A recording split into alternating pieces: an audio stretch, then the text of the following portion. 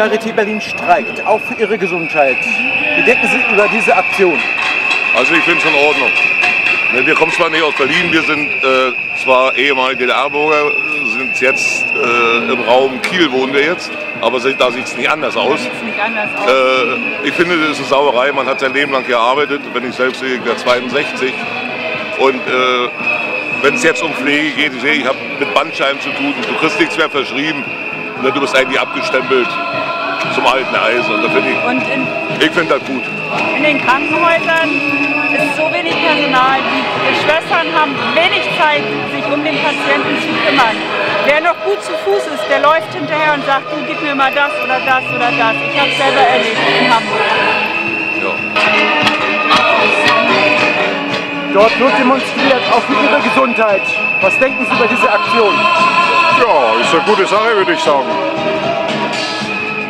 Bin begeistert. Gesund sein wollen wir alle.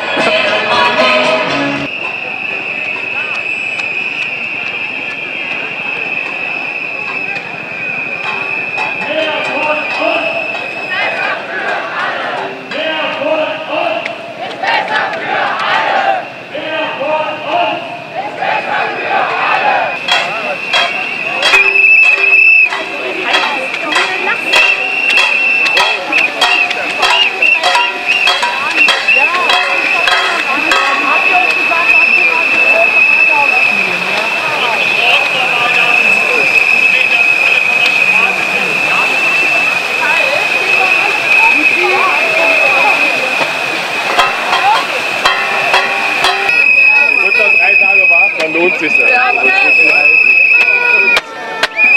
wir hier bleiben? Ja. Wir müssen uns dann gleich hinlegen. Ja, ja. Das ist gemein.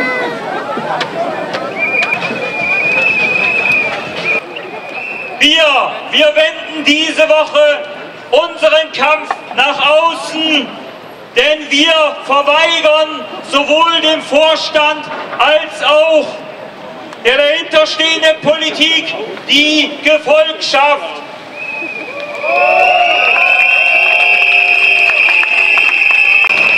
Aber,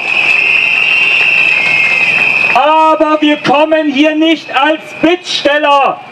Wir kommen hier mit Forderungen.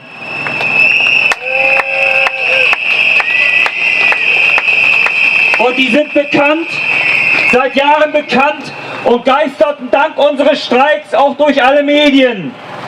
Wir fordern Sie hiermit noch einmal nachdrücklich auf.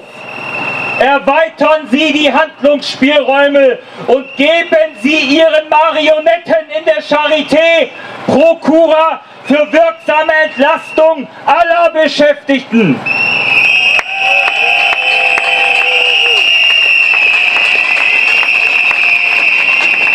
Sagen Sie Ihren Verhandlungsführern, die Charité wird sich nicht spalten lassen. Wir, wir sind nicht ITS, IT, Verwaltung, Station, Gesundheitsakademie, Ambulanz. Wir sind eins in unserem Widerstand gegen das, was in der Charité seit Jahren abläuft. Wir sind eins mit unserer kämpfenden Gewerkschaft Verdi. Wir sind eins mit unseren Bündnispartnern aus politischen Initiativen. Wir sind eins und vor allem eins mit den Patientinnen und den Angehörigen und der unglaublichen Welle von Solidarität aus der ganzen verdammten Republik.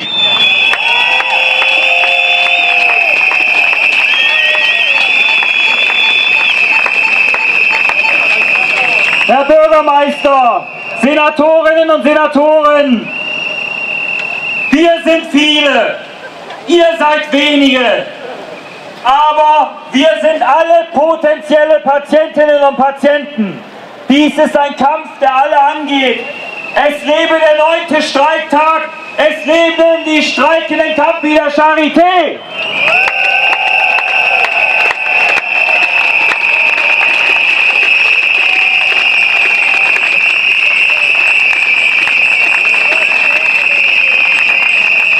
Und es war ein langer Tag. Und diese Tage, die sind anstrengend. Nichtsdestotrotz ist es eine Anstrengung, die uns fröhlich stimmt, die uns kämpferisch stimmt und nicht die tägliche Drangsal in den Beschäftigtenbereichen, in den Büros, auf den Stationen, in den Laboren. Aber die Pflege, vor allem die Pflege, aber alle anderen auch, in den Krankenhäusern liegen am Boden. Und das symbolisieren wir mit einer mächtigen, mit einem mächtigen Symbol. Legt euch, setzt euch hin.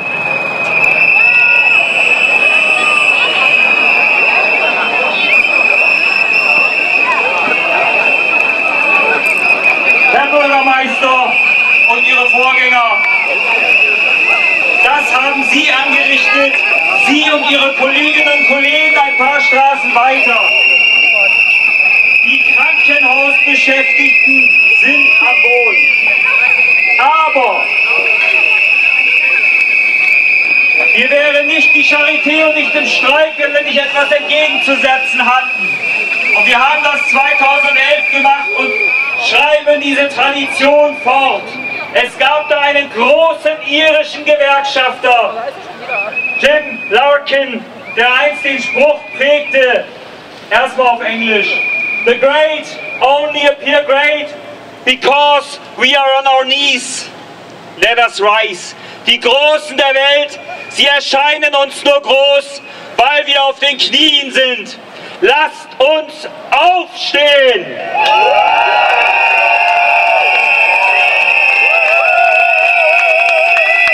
Die Charité ist aufgestanden. Die Charité steht. Ihre Beschäftigten stehen im neunten Streiktag auf unverändert hohem Niveau. Tausende Operationen, Aufgestanden! Das seid ihr, das sind wir, das ist unsere Macht, die wir diesen Leuten da entgegensetzen.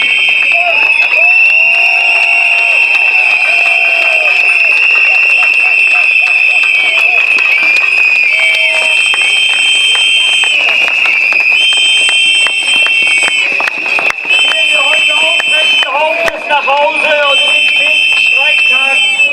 In Gedanken sind wir jetzt bei den Kolleginnen und Kollegen der Verhandlungskommission, die da womöglich um Punkt und Komma ringen, um Formulierung, die Auszeit nehmen, die schwitzen, die leiden, die sich leidenschaftlich auch mal streiten. Seien wir symbolisch bei ihnen und rufen ihnen hier nochmal zu. Ich hoffe, es wird hier ein bisschen gefilmt und fotografiert. Mehr von uns! Mehr von uns! Mehr von uns! Vielen Dank!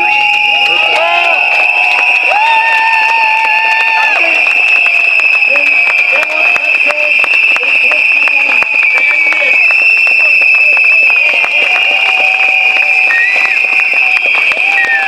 Kommt alle gut ein oder kommt zurück in die Streiklokale. Die zweite Streikwoche. Waren Sie soweit zufrieden und was muss sich unbedingt ändern? Ja, ich war sehr zufrieden. Äh, Der Streik läuft äh, letzte Woche wie auch diese Woche sehr gut. Die äh, Leute sind alle sehr motiviert.